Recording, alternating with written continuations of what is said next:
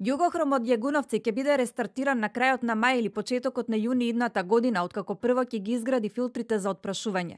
Менеджментот на компанијата, владата и синдикатот на вработените со меморандум се обврзаа дека ќе ја почитуваат со закон утврдената процедура и нема да ја донесат фабриката во ситуација пред одземање на интегрираната дозвола, како пред две години кога инспекторатот за животна средина ја затвори и нема филтри. Јас јавно ви ветувам дека Југохром нема ниту еден работен ден да има без поставување на филтрите. Се надевам дека тоа ќе биде во многу скоро време.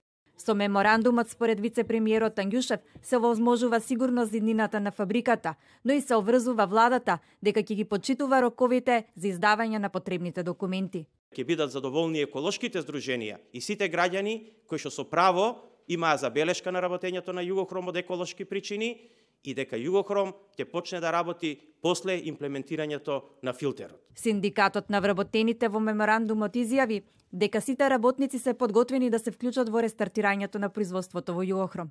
Синдикалниот представник Алити побара владата да најде механизми компанијата навреме да ги изгради филтрите со што фабриката ќе профункционира.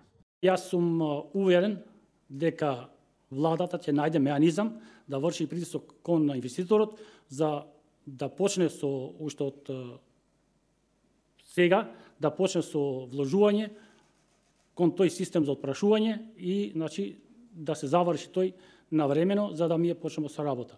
Југохром целосно го запре производството во ноември 2016 година, односно пред парламентарните избори, откако него испочитува рокот за градење на филтрите кои чинат 4,5 милиони евра. Тогаш околу 800 вработени останаа без работа и неколку пати протестираа со барање фабриката да се рестартира и да се реши нивниот проблем.